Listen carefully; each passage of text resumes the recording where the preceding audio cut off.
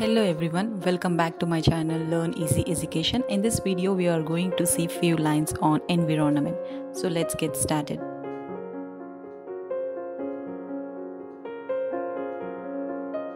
Everything that surrounds us is known as environment. Environment constitutes of all living as well as non-living things.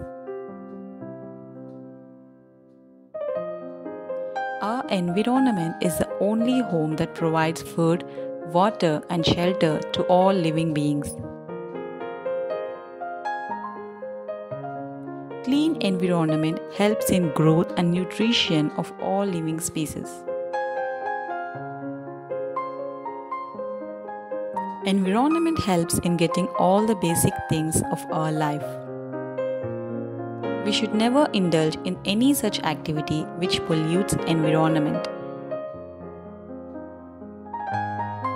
Environment pollution causes global warming, acid rain and depletion of natural resources. It is our responsibility to keep our environment clean and green.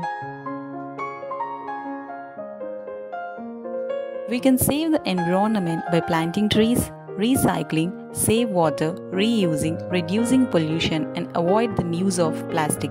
But if we don't save them, the future will not save us from natural calamities. Every year on 5th June, World Environment Day is celebrated to spread awareness among the people about the clean and green environment. Thanks for watching. Don't forget to like, share, and subscribe my channel. Bye bye.